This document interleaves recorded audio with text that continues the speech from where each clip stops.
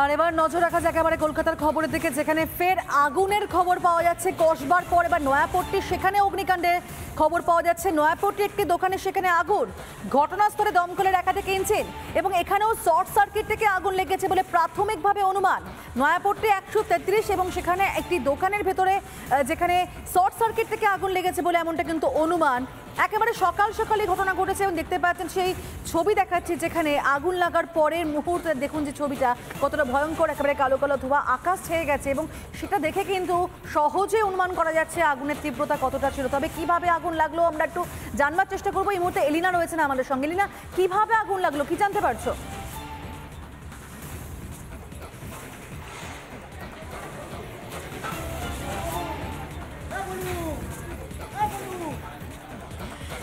পিউ দেখো, সাত সকালে ফের অগ্নিকাণ্ডের ঘটনা। এই মুহূর্তে রয়েছে একশো তেত্রিশ নয়াপট্টিতে এবং এই নয়াপট্টির যে বাড়ি, একটি বাড়ির নিচেই মুদিখানার দোকান ছিল। সেই মুদিখানার দোকানে কার্যত বিধ্বংসী আগুন লেগে যায়। যেমনটা এখনও পর্যন্ত জানা যাচ্ছে যে, দোকানে থাকা যে আইসক্রিমের ফ্রিজার হয়, সেই আইসক্রিমের ফ্রিজারের থেকেই শর্ট সার্কিট হয়েছে এবং সেই শর্ট সার্কিট থেকেই কিন্তু গোটা মুদিখানার দোকানটিতে আগুন ধরে যায়। শুধুমাত্র তাই নয়, ঘটনাস্থলে দমকলের প্রথমে চারটি ইঞ্জিন আসে এবং চারটি ইঞ্জিনের সহায়তায় আগুন কার্যত খানিকটা নিয়ন্ত্রণে এসেছে, তবে ভেতরে আর কোনো পকেট ফায়ার রয়েছে কিনা, আগুন কোথাও দিকে দিকে জ্বলছে কিনা সেটা দেখা হচ্ছে। এখনও পর্যন্ত আমরা দেখতে পাচ্ছি ঘটনাস্থলে দমকলের দুটো ইঞ্জিন রয়েছে, বাকি দুটো বেরিয়ে গিয়েছে। তোমাকে জানিয়ে রাখব যে ঘটনাটা কি হয়েছিল। আজকে ভোর চারটে পঁয়তাল্লিশ নাগাদ, অর্থাৎ পৌনে পাঁচটা নাগাদ, হঠাৎ করেই দোকানের আশেপাশের যে বাড়িগুলি রয়েছে, সেখানকার যারা প্রতিবেশী রয়েছেন, তারাই কিন্তু প্রথম কালো ধোঁয়া দেখতে পান, পোড়া গন্ধ পান এবং তারপরে বাড়ির যিনি মালিক তাকে কিন্তু খবর দেওয়া হয়, তিনি ঘুমোচ্ছিলেন এবং সেই তারই মধ্যে আগুন কিন্তু জ্বলতে থাকে। যদি তাকে না ঘুম থেকে ডাকা হতো, তাহলে কিন্তু এই বাড়ির যারা বসবাসকারী বাসিন্দা রয়েছেন, তারাও কিন্তু কার্যত আগুনে পুড়ে যেতেন, আগুনে অগ্নিদগ্ধ হয়ে যেতেন। তাদের প্রাণহানির একটা আশঙ্কা করা হচ্ছিল এবং তোমাকে ছবিটা এই মুহূর্তে দেখাবো। আমার ভিডিও জার্নালিস্ট দীপঙ্কর কাঞ্জিলাল রয়েছে। আমি দীপঙ্করকে বলব, দীপঙ্কর, ছবিটা দেখানোর একটু চেষ্টা করো। গোটা দোকানটি কিন্তু কার্যত পুরে ভস্মীভূত হয়ে গিয়েছে। এখনও পর্যন্ত দমকলের দুটো ইঞ্জিন রয়েছে এবং যেমনটা দমকলের প্রাথমিক অনুমান যে মুদিখানায় দোকানে যে আইসক্রিমের যে ফ্রিজার ছিল এবং যে ফ্রিজ থাকে, আমরা জানি প্রত্যেকটি দোকানে কোল্ড ড্রিঙ্কসের জন্য আইসক্রিমের জন্য বিভিন্ন ফ্রিজার রাখা থাকে। সেই ফ্রিজারের থেকেই কিন্তু শর্ট সার্কিট হয়ে আগুন লেগেছে বলে খবর। এখনও পর্যন্ত দমকলের প্রাথমিক অনুমান, এখানে সমস্ত কিছু তুমি দেখতে পাচ্ছ। পুরে ছাই হয়ে গিয়েছে, চাল, ডাল, হলুদের প্যাকেট বিভিন্ন মশলাপাতি, অর্থাৎ মুদিখানার দোকানে যাবতীয় যা জিনিসপত্র থাকে, তা কার্যত পুরে একেবারে ছাই হয়ে গিয়েছে। আমি একটু যারা বাড়ির যারা বাসিন্দা ছিলেন বাড়ির যারা এখানে বসবাস করেন তাদের সাথে একটু কথা বলব। যার সব থেকে বেশি ক্ষতি হয়েছে সেই লিলি দেবীর সাথে একটু কথা বলার চেষ্টা করব। এটা ওনারই দোকান উনি ভাড়া দিয়েছিলেন দোকানটি দোকানটি আপনি ভাড়া দিয়েছেন হ্যাঁ দোকান আমি ভাড়া দিয়েছি। হ্যাঁ। হ্যাঁ ভাড়া দিয়ে আমি খাই আর কি। আমার হাজবেন্ড দোকানটা ভাড়াই দিয়ে হ্যাঁ। তো গোটাটাই আপনার পুরো বাড়িটা আমার বাড়ি। কি কি হয়েছিল? কখন জানতে পারলেন? পৌনে পৌনে পাঁচটায় পাশের বাড়ি কাকাবাবু দেখতে পায় এবং আমাদেরকে ডাকে। আমরা যে যে অবস্থায় ছিলাম সেই অবস্থায় আমরা নেমে এসেছি। আমরা আর কিছু জানতে পারিনি। দেখছি ধোয়া আগুন জ্বলছে। হ্যাঁ আগুনের শিখাটা তো অনেকটাই উঠেছে। দেখলাম আপনার তিনতলা তিনতলা সমান। তিনতলা ওই তো দেখুন না। তাই তো দেখতে পাচ্ছি। আপনাদের তো প্রাণহানি ঘটতে পারতো। আমাদের ছোট ছোট বেবি ছিল। আমার বড় মেয়ের দুই বেবি তাদেরকে নিয়ে আমরা ঘুমাচ্ছিলাম। সাংঘাতিক অবস্থা তুমি বুঝতেই পারছ প্রিয়। আমি ছবিটা দেখাই বাড়ির ছবিটা। আগুনের তীব্রতা আগুনের উত্তাপ এতটাই ছিল বাড়ির তিনতলা পর্যন্ত আগুনের তাপ আগুনের তাপ একদম কতটা উঠে গিয়েছে তুমি বুঝতে পারছ এবং তিনি যেমনটাই বলছেন যে যাকে তিনি দোকান ভাড়া দিয়েছিলেন তিনিও কিন্তু পাশেই তার দুটো সন্তানকে নিয়ে কিন্তু তিনি ঘুমোচ্ছিলেন। তিনিও জানতেন না যে আগুন লেগেছে। অর্থাৎ যদি পাশের বাড়ির প্রতিবেশীরা না জানাতেন যে আগুন লেগেছে তাহলে কিন্তু প্রচুর মানুষের জীবনহানি ঘটতে পারতো। অগ্নিদগ্ধ। হয়ে অনেকে মারা যেতেন। পিউ তুমি বুঝতেই পারছ কতটা ভয়াবহ এই অগ্নিকাণ্ডের ঘটনা। মুদিখানার দোকানে সাংঘাতিক আগুন লেগেছে এবং এই মুহূর্তে যে ছবি দেখানোর চেষ্টা করছি এলাকার যারা বাসিন্দা তারা কার্যত আতঙ্কে রয়েছেন এলাকার মানুষজন।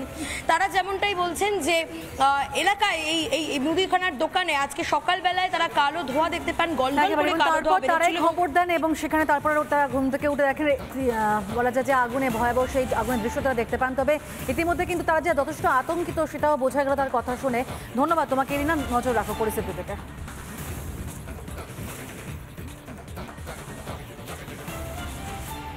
আর এবার নজর রাখা যাক এবারে কলকাতার খবরের দিকে, যেখানে ফের আগুনের খবর পাওয়া যাচ্ছে। কসবার পর এবার নয়াপট্টি, সেখানে অগ্নিকাণ্ডে খবর পাওয়া যাচ্ছে নয়াপট্টি একটি দোকানে, সেখানে আগুন। ঘটনাস্থলে দমকলের একাধিক ইঞ্জিন এবং এখানেও শর্ট সার্কিট থেকে আগুন লেগেছে বলে প্রাথমিকভাবে অনুমান। নয়াপট্টি একশো তেত্রিশ এবং সেখানে একটি দোকানের ভেতরে যেখানে শর্ট সার্কিট থেকে আগুন লেগেছে বলে এমনটা কিন্তু অনুমান।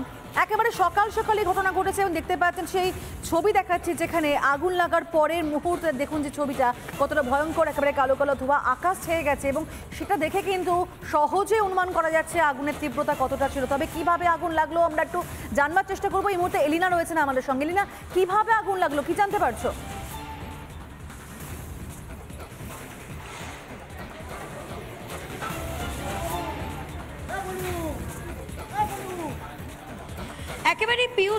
সাত সকালে ফের অগ্নিকাণ্ডের ঘটনা। এই মুহূর্তে রয়েছে একশো তেত্রিশ নয়াপট্টিতে এবং এই নয়াপট্টির যে বাড়ি, একটি বাড়ির নিচেই মুদিখানার দোকান ছিল। সেই মুদিখানার দোকানে কার্যত বিধ্বংসী আগুন লেগে যায়। যেমনটা এখনও পর্যন্ত জানা যাচ্ছে যে, দোকানে থাকা যে আইসক্রিমের ফ্রিজার হয়, সেই আইসক্রিমের ফ্রিজারের থেকেই শর্ট সার্কিট হয়েছে এবং সেই শর্ট সার্কিট থেকেই কিন্তু গোটা মুদিখানার দোকানটিতে আগুন ধরে যায়। শুধুমাত্র তাই নয়, ঘটনাস্থলে দমকলের প্রথমে চারটি ইঞ্জিন আসে এবং চারটি ইঞ্জিনের সহায়তায় আগুন কার্যত খানিকটা নিয়ন্ত্রণে এসেছে, তবে ভেতরে আর কোনো পকেট ফায়ার রয়েছে কিনা, আগুন কোথাও ধিকি দিকে জ্বলছে কিনা সেটা দেখা হচ্ছে। এখনও পর্যন্ত আমরা দেখতে পাচ্ছি ঘটনাস্থলে দমকলের দুটো ইঞ্জিন রয়েছে, বাকি দুটো বেরিয়ে গিয়েছে।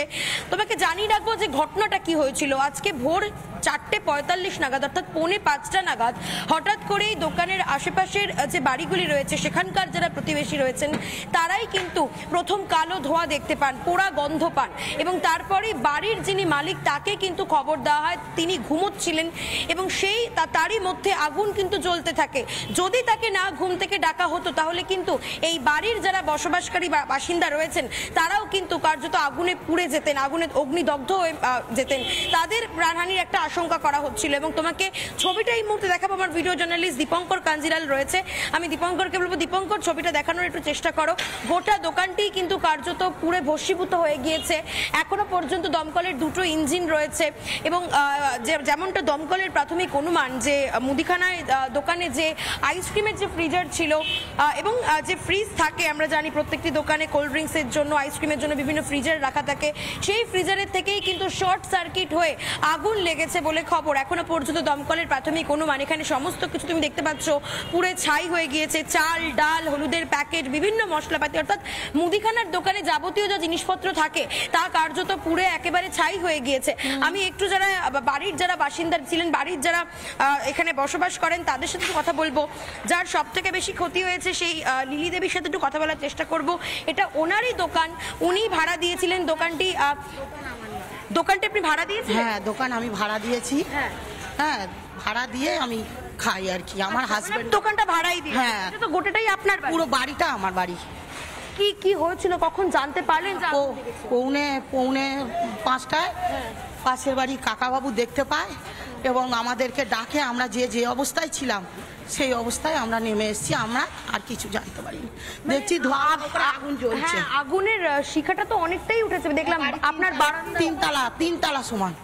তিনতলা ওই তো দেখুন না। তাই তো দেখতে পাচ্ছি। আপনাদের তো প্রাণহানি ঘটতে পারতো। আমাদের ছোট ছোট বেবি ছিল। আমার বড় মেয়ের দুই বেবি তাদেরকে নিয়ে আমরা ঘুমাচ্ছিলাম।